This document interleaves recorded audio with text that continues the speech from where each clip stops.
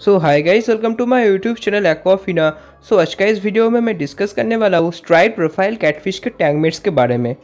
सो so, आप stripe profile catfish के साथ कोई भी आपका जो साउथ अमेरिकन सिगलेट्स है कैटफिश है और बॉटम डुएलर फ़िश है इनके साथ आप अपने रख सकते हैं अपने स्ट्राइप फ़िश को। सो so, जो फ़र्स्ट टैंगमेट है वो है अपसाइड डाउन कैटफिश जो सेकेंड टैंगमेट है वो है पिक्टूस कैटफिश जो थर्ड टैंगमेट है वो है क्लाउन लोच। जो फोर्थ टैंगमेट है वो है योयो लोचेस। जो फिफ्थ टैंगमेट है वो है क्लाउन नाइफ फ़िश जो सिक्स टैंगमेट है वो है सिब्रम सिगलेट्स जो सेवंथ टैंगमेट है वो है नियॉन ब्लू अकोड़ो जो एथ टैंगमेट है वो है प्लेको और सकुट कैटफिश